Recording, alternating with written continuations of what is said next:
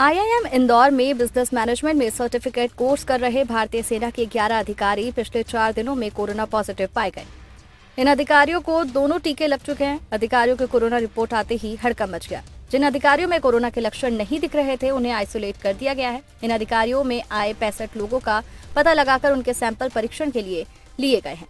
पिछले छह महीनों में साठ आर्मी ऑफिसर यहाँ सर्टिफिकेट कोर्स कर रहे हैं। आपको बता दें कि सितंबर महीने में भी कुछ इसी तरह के मामले सामने आए थे। बता दें कि मध्य प्रदेश में पिछले 24 घंटे में 22 नए कोरोना के मामले सामने आए। इंदौर में कोरोना के तेरह, भोपाल में पाँच, रायसेन में तीन और जबलपुर में एक नए मामले सामने आए।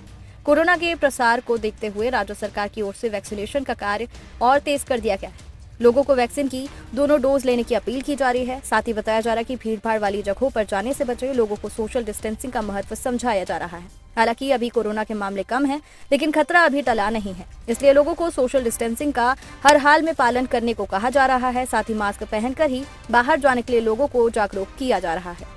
कोरोना और वैक्सीनेशन से जुड़ी हर महत्वपूर्ण खबरों के लिए हमारे चैनल को सब्सक्राइब कर लीजिए।